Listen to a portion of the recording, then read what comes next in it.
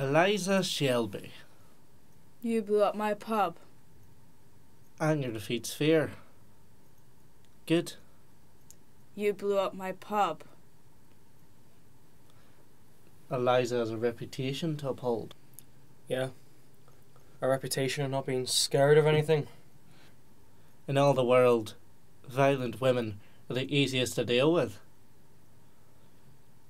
So tell me, which brand of rebel are you, eh?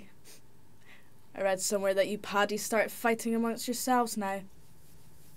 The king offers you a peace treaty and you start a war about it. That's funny, don't you think? A war about peace. So you for the treaty or against the treaty? Forgive me, I get confused.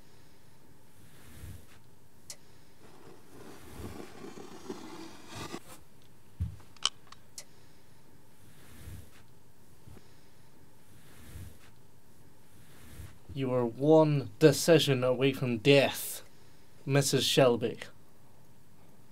So stop fucking smiling. Your name is Isaac O'Donnell. You have a son at the grammar. He has irons on his legs. His name is Sean. He comes last in every race, poor boy. Poor boy, if the race was important. Do you know what I mean, Isaac O'Donnell?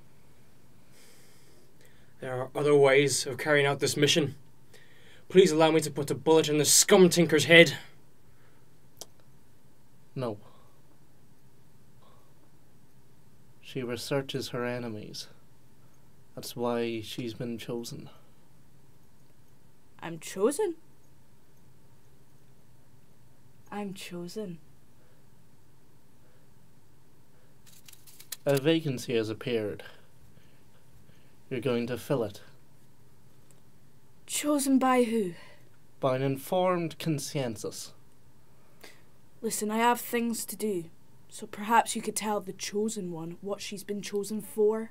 From now on, Mrs. Shelby, you shut your fucking gypsy mouth and do what you're told.